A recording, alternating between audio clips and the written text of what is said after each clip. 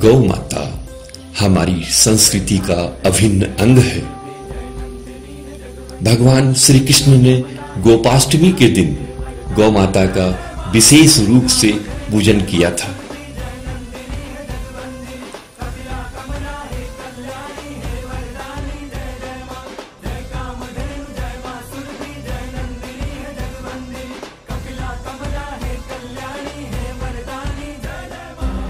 इस अवसर पर प्रतिवर्ष की भांति श्री श्री गौशाला प्रांगण में गोपाष्टमी महोत्सव का आयोजन किया गया है।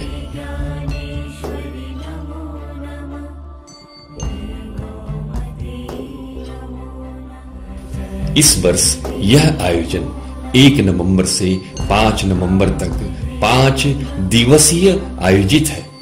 आप स्वयं गो पूजन तो करें ही साथ ही गौशाला में सपरिवार पधार कर संपूर्ण आयोजन को सफल बनाने की कृपा करें।